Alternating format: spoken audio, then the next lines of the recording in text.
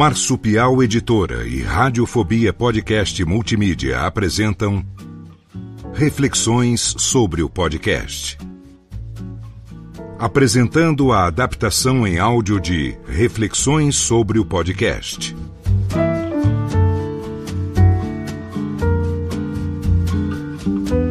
O livro Reflexões sobre o Podcast foi publicado originalmente em janeiro de 2014.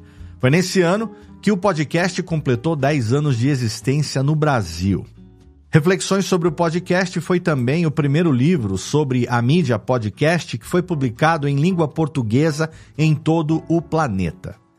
Na ocasião, a ilustração que foi escolhida para a capa do livro foi uma antiga fita cassete, que você vê aí também na capa do podcast. E a explicação sobre por que, que um livro sobre uma mídia fortemente ligada à internet e à tecnologia teve uma fita cassete na capa é bem simples. É só você perguntar para a maioria das pessoas que produziam podcast até 10 anos atrás qual a relação que a gente tinha com os nossos programas. Era algo bastante parecido com uma clássica brincadeira de quem cresceu nos anos 80, quando a gente pegava um gravador de fita cassete e brincava de fazer os nossos próprios programas de rádio, só que com o podcast, a brincadeira de gravar os nossos próprios programas de rádio tomou uma proporção muito maior. Dez anos atrás, a maioria de nós gravava podcast por diversão. Mesmo os poucos entre nós que já tínhamos profissionalizado os nossos programas, na maioria, a gente ainda se divertia muito com aquilo que a gente fazia. Fosse gravando sozinho, gravando com amigos, apresentando uma seleção de músicas, um bate-papo informal, ou mesmo fazendo uma edição caprichada, ou mesmo mantendo o áudio bruto por opção, enfim. O podcast raiz, em áudio apenas, era muito parecido com as nossas brincadeiras de fita cassete.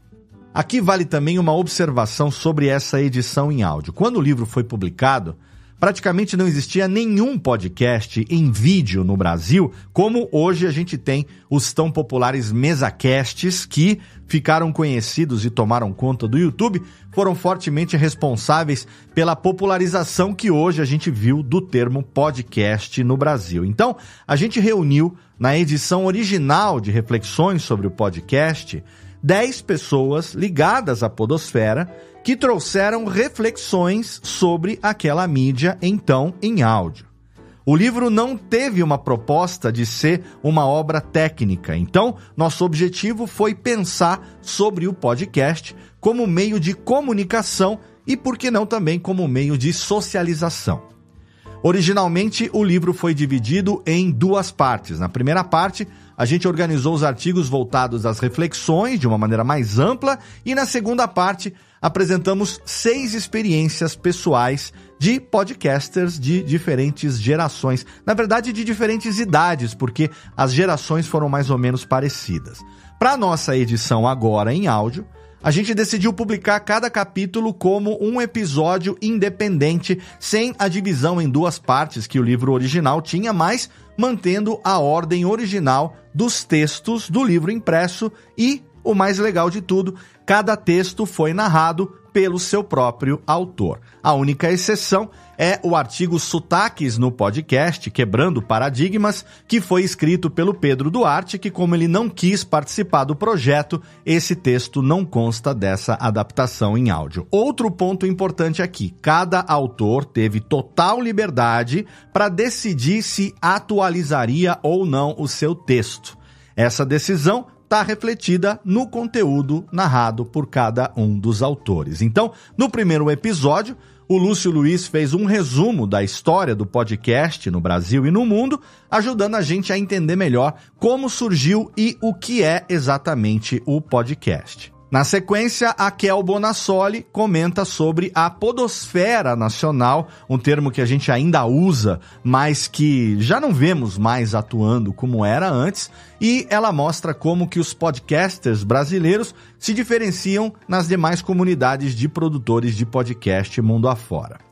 Logo depois, o nosso amigo Pablo de Assis fez uma abordagem um pouco mais técnica, mas nem por isso menos reflexiva, estudando o feed, né? Aquele nosso amiguinho que ajuda na distribuição dos podcasts que ainda é necessário. E o Pablo também fala como o feed é importante na fidelização do ouvinte sem trocadilhos. E na sequência, a gente tem seis experiências pessoais de podcasters de diferentes gerações.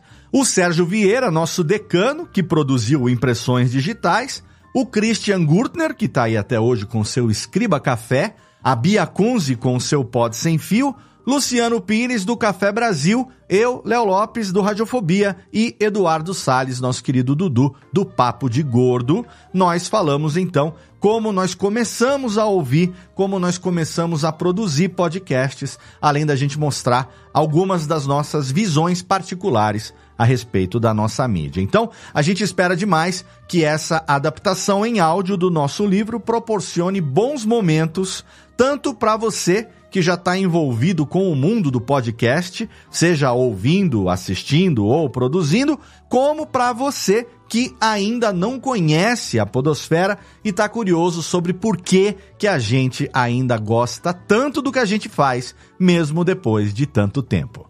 Tá no ar reflexões sobre o podcast O Podcast.